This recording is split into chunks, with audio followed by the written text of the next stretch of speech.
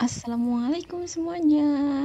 Ketemu lagi dengan aku Siti Navina Kali ini aku akan berbagi resep kue dari tepung beras yang simple dan sederhana banget ya. Jadi simak videonya sampai selesai.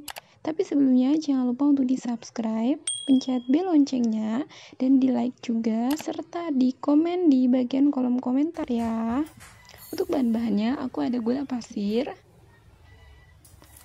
ada air panas. Untuk takarannya nanti aku tulis di deskripsi box ya.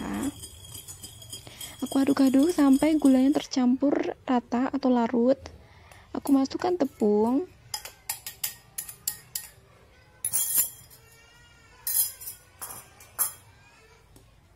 Aku aduk-aduk sampai tercampur dengan rata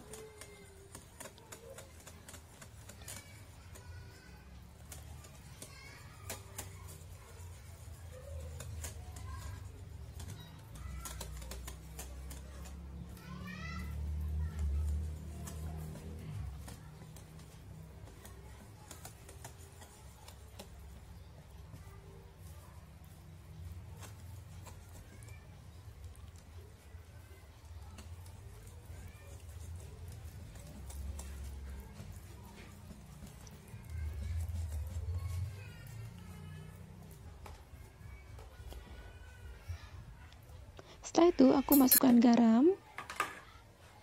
Aku masukkan minyak goreng.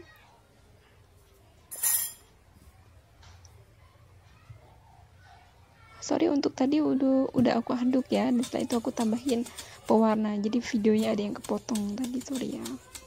Diaduk sampai rata. Setelah itu aku tutup dan aku tunggu selama satu jam setelah satu jam aku buka dan sudah timbul gelembung jadi harus harus seperti ini ya jadi harus ada gelembung kalau tidak ada gelembung, berarti raginya sudah nggak aktif dan sudah nggak layak untuk dipakai.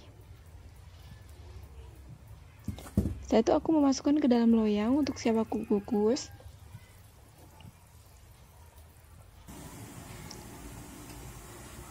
Aku kukus selama 15 menit.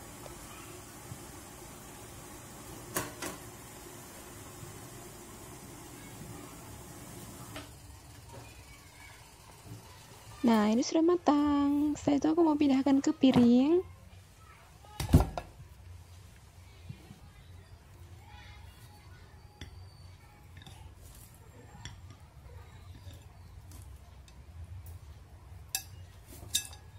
Nah, seperti ini hasilnya. Bye bye. Thank you ya.